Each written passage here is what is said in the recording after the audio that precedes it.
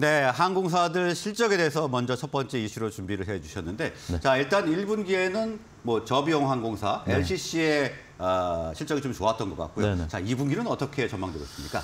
일단 말씀 주신 것처럼 1분기에는 국적 저비용 항공사 이제 LCC들이 사상 최대 실적을 기록했는데요. 네. 아, 2분기 같은 경우는 이제 대한항공이나 아시아나항공, 대형항공사를 포함해서 아, 국적 저비용 항공사들도 아, 흑자를 낼 것이다 이런 전망이 아, 굉장히 많은 것 같습니다. 실제로 네. 아, 이제 FN 가이드 통계를 보면 그 대한항공이나 아시아나항공의 아, 별도 기준으로 2분기 영업이익, 영업이익 컨센서스, 그러니까 증권사 전망치 평균이요.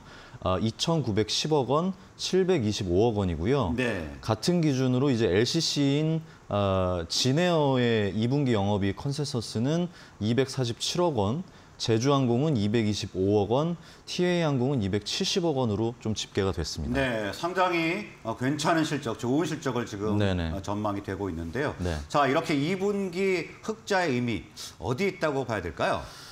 일단은 그 항공사들이 이제 2분기, 그러니까 1분기에 워낙 실적이 LCC들을 중심으로 좋았기 때문에 네. 이 숫자만 놓고 봐서는 왜이 이, 이 정도가 이제 실적이 좋은 것이냐라고 좀 반문을 하실 수도 있는데요. 네. 일단 항공사한테는 2분기가 계절적인 비수기입니다. 그래서 어, 항공업계에서는 아, 2분기에는 적자를 보지 않으면 아, 선방한 것이다 이렇게 아, 그렇게 비수기인가요? 네네 그, 네. 그 정도로 비수기고요.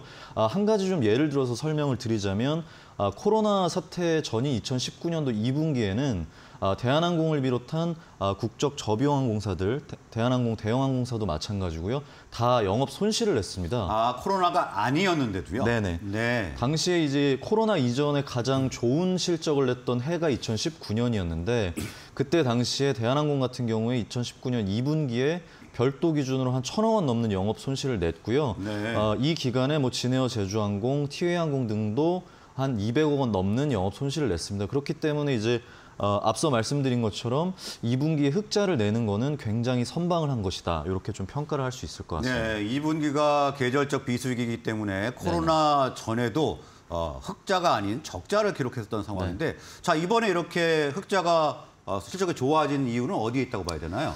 일단은 1분기에 어, 영향을 미쳤던 항공 시장 특수랄까요? 그러니까 네. 코로나 19 사태가 끝나고 나서 어, 항공 여객 그 해외 여행을 떠나는 인원들이 굉장히 급증을 한 한 반면 어, 이에 따른 그 항공사들의 공급은 늘어나지 못한 측면이 있습니다. 왜냐하면 네. 코로나19 사태 당시를 겪으면서 항공기를 좀 줄였겠죠. 항공기도 그렇고요. 그리고 일- 일단 인원 자체도 굉장히 좀 감축된 측면이 있기 음, 때문에 네.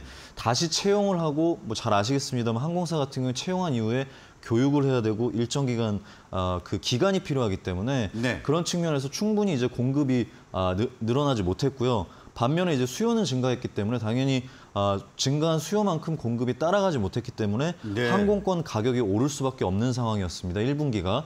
근데 이런 영향이 2분기에도 영향을 미치는 것 같고요. 일단 시장에서 우려하는 것만큼 공급이 어, 급속도로 뭐 빨리 늘어나서 공급 과잉 우려가 있다. 이거는 아, 우려에 그치지 않나 이렇게 좀 판단이 되고 있습니다. 네, 일단 어, 코로나 때 어, 여행을 가지 못했던 네네. 보복 수요가 일면서 이 1분기 수요가 2분기까지 넘어갔다. 네네, 아, 맞습니 다. 이렇게 정리를 한번 해보겠습니다. 네. 자, 그러면 3분기도 중요할 텐데 3분기는 어느 정도 예상되고 있습니까?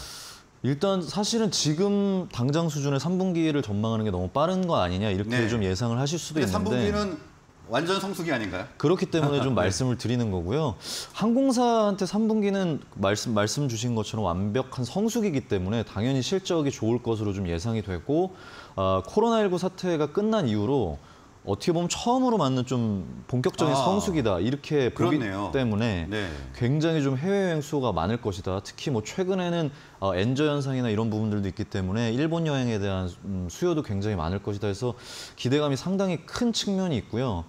이게 어, 이번에 이제 2분기 흑자의 의미를 좀 짚어드리는 이유도 그, 어, 좀 연장선상인데 예. 어, 1분기에 사상 최대 실적을 냈고 국적 LCC들이 네. 2분기에 적자를 내지 않고 3분기 성수기에 진입해서 어, 기존의 성수기 수준이나 그 이상을 실적을 낸다. 그러면 사실은 어, 항공사에 종사하시는 분들은 아 연간 아, 사상 최대 실적을 낼 수 있다라고 좀 거의 확신을 하시는 분위기더라고요. 어, 뭐 제가 그냥 산술적으로 생각해도 그럴. 것 같은데요. 네네 맞습니다.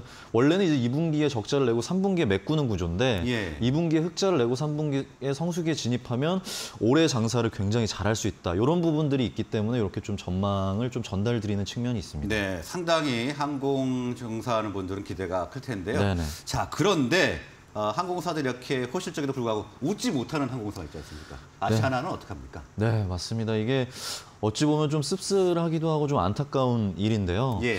아시아나 항공 같은 경우에 이제 지금 대한항공이랑 인수합병 중이고 어, 아직도 해외 기업 결합 심사가 끝나지 않았기 때문에 여전히 지금 좀 부정적인 뭐 전망도 나오고 하더라고요. 네 네 맞습니다. 기업 결합 심사 자체에 대한 부정적인 전망도 있고 예. 일단 당장의 기업 결합 심사 중이기 때문에 아시아나항공에 대한 뭐 신규 투자나 이런 부분들도 거의 어, 이루어지지 않고 있는 그래서 다른 항공사에 비해서 더 열악한 상황이다 이렇게 말씀드릴 수 있을 것 같고요. 예. 특히나 이제 뭐 잘 아시겠습니다만 지난달 말에는 아시아나항공 여객기가 이제 출입문이 연 상태로 또 비행을 해서 사고가 있었죠. 네네 굉장히 또 관심을 받고 또 아, 안전 문제가 좀 대두됐고 최근은 아니고 올해 들어서 이제 아시아나항공 조종사 노동조합이 아, 임금 협상 관련해 가지고 노사 갈등도 좀 상당히 있기 때문에 여러 가지 상황을 고려하면 좀 굉장히 좀 어렵다. 그리고 지금 올해 1분기에 연결 기준으로 부채 비율이 2,000%를 넘어선 것으로 아, 집계가 네. 됐거든요. 그러니까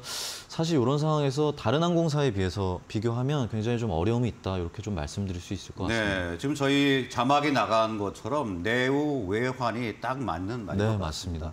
자, 아시아나가 중국 노선에 좀 강점이 있었지 않습니까? 아, 네, 지금 맞습니다. 상황은 좀 어떻나요? 말씀 주신 것처럼 아시아나항공 같은 경우에 중국 노선에 굉장히 강점이 있는 항공사인데 예. 중국 노선이 지금 현재로서도 살아날 좀 기미를 보이지 않고 있다. 이렇게 좀 많이들 평가를 하고 계시고요. 실제로 5월 달에 인천공항 국제선 항공 여객 실적을 보면 코로나 사태 이전이 2019년 5월과 비교해서 한 32% 수준이다. 네. 이렇게 좀 집계가 되고 왜 있고요. 중국 노선만 저럴까요? 그러니까 실질적으로 사실은 뭐 중국이 우리나라 뭐 여행을 규제를 뭐 규제를 하지 않는다 이렇게 외부적으로는 뭐 언급을 하고 있지만 예. 실제적으로 이제 단체 관광이나 이런 걸 풀지 않고 있기 때문에 뭐 일종의 한한령 같은 게 아직 유지가 네네. 되고 있다 이렇게 봐야 네, 되거든요. 맞습니다. 이게 올해 1월에서 5월까지의 누적 이용객 수를 보면 더 참담한데 네. 코로나19 사태 전인 2019년 같은 기간과 비교하면 한 16% 수준에 불과하다고 하고요. 아, 16% 감소가 아니고 16% 입니다. 16% 수준인 건가요? 네, 16% 정도로밖에 회복을 안한 아, 것인데 네. 이게 미주나 일본, 동남아 같은 경우에는 거의 80% 이상, 일본 노선 같은 경우에 100%까지 그러니까 코로나 사태 전까지 회복한 노선이 있다라는 음, 걸 예. 감안하면 굉장히 좀 어려움을 겪고 있다 이렇게 좀 말씀드릴 수 있을 것 같고 어, 이 때문에 이제 아시아나항공 같은 경우에도 이제 뭐 이달 20일부터 아, 인, 어, 인천 시안 노선, 중국 노선 운항을 좀 중단을 했고 어, 다음 달에 뭐 김포 베이징 인천 선전 노선을 운항을 중단한다고 합니다. 그러니까 네. 실질적으로 이제 노선 중국 노선을 축소하는 것이기 때문에 음. 아, 이 중국 노선 변수. 근데 이제 제가 취재하고 항공업계 종사자분들한테 많이 들어본 바에 따르면 사드 보복 이후로 달라진 게 없다고 할 아, 정도더라고요. 그렇습니까? 그래서 그 사드가 언제 일인데 아직까지? 맞습니다. 2017년, 2016년 이때의 일인데 코로나를 지나고 코로나 이후에도 여전히 중국 노선에 대한 불확실성은 해소되지 않았다. 이렇게 좀 평가할 수 있을 것 같습니다. 네, 아시아나는 점점 안 좋은 상황으로 이렇게 치닫고 있는 모습인데요. 일단 훨훨 나는 항공사 아, 저희가 이슈 체크를 해봤는데 안타까운 아시아나 항공 사 정도 들어봤습니다.